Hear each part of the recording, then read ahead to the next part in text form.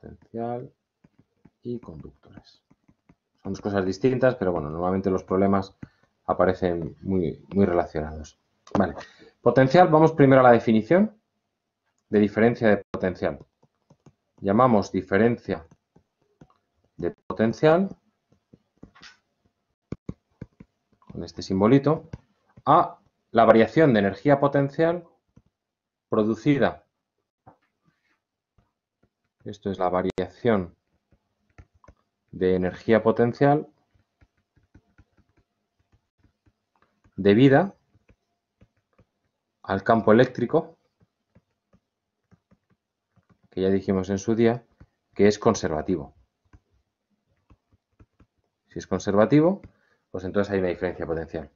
Y esto es la carga puntual que está sometida está sometida a ese campo. ¿De acuerdo? Bien, esto es la, definición de diferencia de potencial.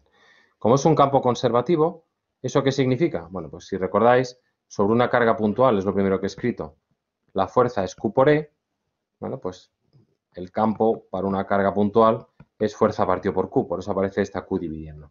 Y de nuevo, si nos volvemos a las definiciones de mecánica, la diferencia de potencial que hay entre dos puntos VB menos VA es la integral empezando en A y acabando en B de E por diferencial de L. ¿De acuerdo? Donde este es un vector diferencial tangente a la trayectoria y apuntando desde A hasta B. Como siempre, una vez que hemos, que hemos definido este diferencial de L, que dependerá del problema, ¿vale? Pues al final nos quedará un producto, mejor dicho, una integral de escalares. ¿vale? Voy a poner esto así claro. Cuando hacemos el producto escalar. El producto escalar.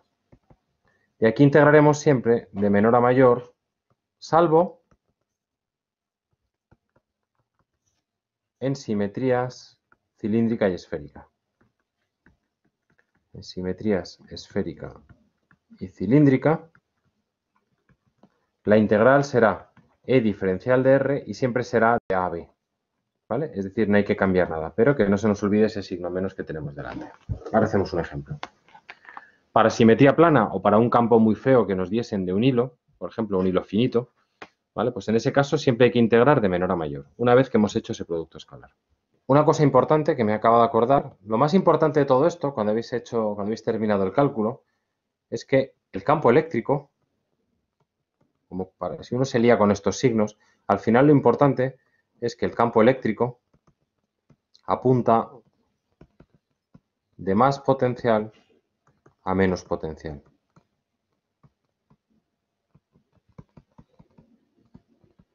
Así que podéis hacer eso que llamaba yo de broma el teorema del signo.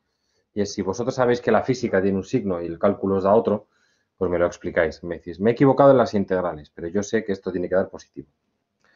Bien, ¿qué es el potencial absoluto? Pues el potencial absoluto es la diferencia de potencial, en vez de con respecto a un cierto punto A, con respecto a una cierta referencia que nosotros elegimos y que por definición decimos que es un punto con potencial cero. Normalmente esta referencia será el infinito para cargas finitas, es decir, si la carga no llega hasta infinito, si es una esfera, por ejemplo, vale, ¿vale? Pero o si es un hilo finito, pero no nos vale si tenemos un cilindro infinito o una placa infinita. Así que si, si esto es una carga finita, pondremos la referencia en el infinito. Si tenemos conductores, pondremos una toma de tierra, nos valdrá también, ¿de acuerdo? Y para el resto de casos, donde nos dé la gana. ¿Por qué? Porque es arbitrario. Esto al principio a uno le escuece, ¿no? tener que tomar decisiones en física, ¿vale? Pero ya lo hemos hecho bastante a lo largo del curso. Cuando en mecánica escribíamos la energía potencial gravitatoria, decíamos que valía mgh. Pero fijaos que esta h estaba definida con respecto al suelo. Pero si yo tuviese un problema así, imaginaos, con un escalón, pues a lo mejor me, y esto vale d, Pues a lo mejor me interesa definir la energía potencial con respecto a esta D. Y esto lo llamo simplemente I. Y la energía potencial sería MGI. ¿Cuál es la correcta? ¿MGH o MGI? Pues en realidad las dos son correctas. ¿vale? Yo simplemente elijo la referencia gravitatoria donde me da la gana. ¿vale? Pues aquí lo mismo. ¿vale? Cuando tenemos, como digo, cargas finitas, pues entonces elegimos el infinito. ¿vale? Y esto nos permite calcular el potencial de una carga puntual en función de la distancia a la carga puntual. Esto por definición será la integral de diferencial de L, de el infinito a ese punto R, pero como una carga puntual tiene simetría esférica, no hay nada más esférico, de hecho, que una carga puntual, la vemos igual desde cualquier ángulo, pues esto es la integral de infinito a R, y ahora fijaos lo que os decía, ¿no? que en simetría esférica ya me olvido de la L y le llamo simplemente R, pero tengo que preservar el orden natural, digamos, del, potencial. Ya no lo hago de menor a mayor. En este caso, el campo creado por una carga puntual vale K por Q partido por R cuadrado. Eso es la ley de Coulomb de bachillerato. Así que esto nos queda K por Q partido por R. Y esto nos lleva a el segundo método para calcular potenciales. Segundo método para calcular potenciales.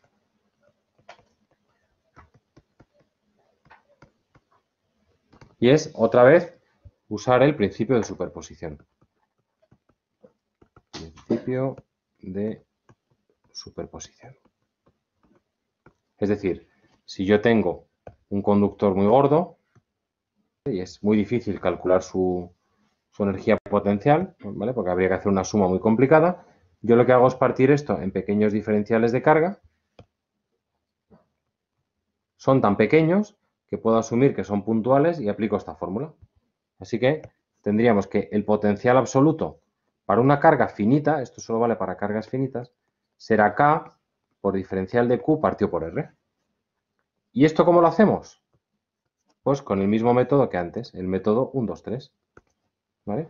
En el paso 1 elegimos unos ejes y dibujamos un diferencial de Q, elegimos R del punto, R del diferencial de Q, lo restamos para sacar R, ahora solo nos interesa el módulo, ¿vale? Que es esa R de aquí.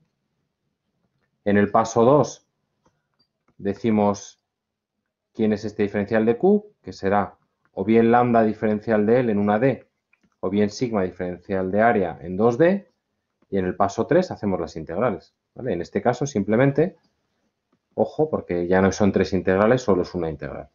¿Vale? Así que si sabemos aplicar el método este 1, 2, 3 para campos eléctricos lo tenemos gratis para potenciales. Pero ojo, esto solo vale para eh, cargas finitas. Si son infinitas, pues entonces tenemos que calcular el campo primero, ¿vale?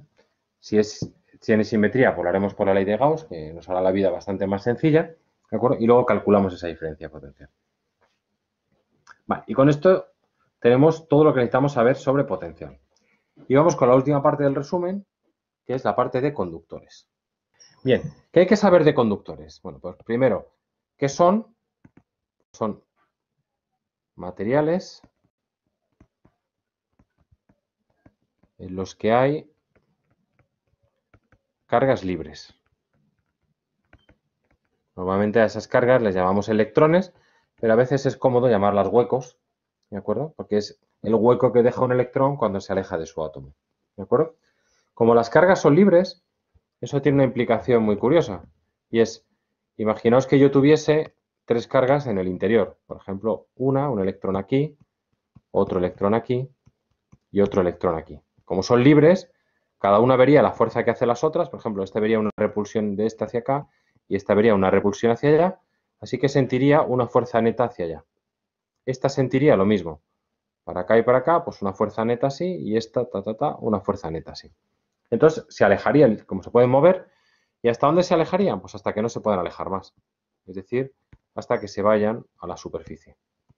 Entonces, como consecuencia de que las cargas son libres, la primera implicación es que la carga en un conductor siempre está siempre está en sus superficies.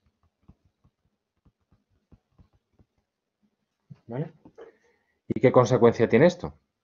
Pues si cogemos y aplicamos la ley de Gauss, cogemos aquí una gaussiana con la forma que nos dé la gana, pues esto implica que E por diferencial de área será la carga en el interior de cualquier caja, ¿vale? Como estas cajas pueden tener cualquier forma y como aquí nunca hay carga, pues esto será cero. Y eso significa que el campo en la parte sólida de un conductor, en la parte sólida, siempre será cero. ¿vale? Y si el campo es cero, cualquier integral del campo entre dos puntos del interior o del exterior, por ejemplo, este A y este punto B o este punto C, ¿vale? será la integral de algo que es cero, la integral de cero es cero. Y esto significa que todos los puntos de un conductor están al mismo potencial. Todos los puntos de un conductor están al mismo potencial. ¿Vale? Eso es lo que físicamente decimos que es equipotencial. ¿vale? Pero bueno, los palabrejos no valen para nada si no enseñan nada. Equipotencial. Vale. Pues esto en principio es todo lo que hay que saber. ¿vale? ¿Dónde vienen los problemas? Pues los problemas es, vienen en aplicar esta idea de que la carga interior es cero y de que es equipotencial. ¿vale? Pero esto se ve mejor con los dibujos. ¿vale? La otra cosa que hay que saber es cómo podemos asociar, cómo podemos conectar, podemos conectar los conductores. Y aquí tenemos tres posibilidades. Primera posibilidad, conectar entre sí con otro conductor delgado. Bueno, con otro conductor, normalmente decimos que es con un hilo. Bueno, pues en este caso se vuelven equipotenciales. ¿Vale? Esa es la primera pista. ¿vale? Esto va a ser una ecuación Y lo segundo que ocurre es que la carga se conserva. La carga se conserva. Es decir, la suma de las cargas antes de conectarlos será igual a la suma de las cargas después de conectarlos. Y esto va a ser otra ecuación. Así que cuando conectamos dos conductores, nos aparecen dos incógnitas, que son las nuevas cargas, pero nos aparecen dos ecuaciones que son la de equipotencialidad, que tiene que ver, perdón, esto es diferencial, ah, sí, esto es diferencial, que tiene que ver con esta diferencia de potencia, y la conservación de carga, que tiene que ver con esta otra. Esa es la primera posibilidad. Segunda posibilidad, conectarlas con una pila. El nombre de la pila es nombre vulgaris, el nombre técnico sería una fuerza electromotriz. ¿De acuerdo? Pero bueno, me da igual es decir, con uno de estos simbolitos. Ojo que aquí tenemos el más y el menos y aquí es importante. Bueno, pues pasa lo mismo. Ahora, por un lado tenemos que la diferencia de potencial, vamos a llamar a esto V sub 0. La diferencia de potencial entre los conductores es V sub 0 y ya digo, está más potencial el que toca el más. Y esto de nuevo es una ecuación. Y la segunda condición es que la carga se conserva, es decir, la pila no crea carga, la pila simplemente mueve cargas de un polo a otro. La carga se conserva. Es decir, si antes la suma de las dos era Q1 más Q2, al final la suma de los dos va a ser Q'1 más Q'2. Y esto lo que nos da es otra ecuación. De nuevo, dos ecuaciones con dos incógnitas. Tercera posibilidad. Conectar el conductor a tierra. Y en este caso, lo que ocurre es solo una cosa, y es que el potencial absoluto de ese conductor, de ese conductor, se hace cero. Esto nos da una ecuación para una incógnita. Y es la carga no se conserva, por tanto Q1 es distinto de Q'1. Esta es nuestra incógnita, Q'1, y esta es nuestra ecuación. Así que cuando conectamos a tierra, que es, recordad este simbolito, o en algunos libros lo ponen significa que tenemos que ver cuál es la diferencia potencial y decir que es cero con respecto a, a esa toma tierra. ¿De acuerdo? Bueno, pues esto es todo lo que hay que saber de conductores. Ahora lo único que queda es practicar.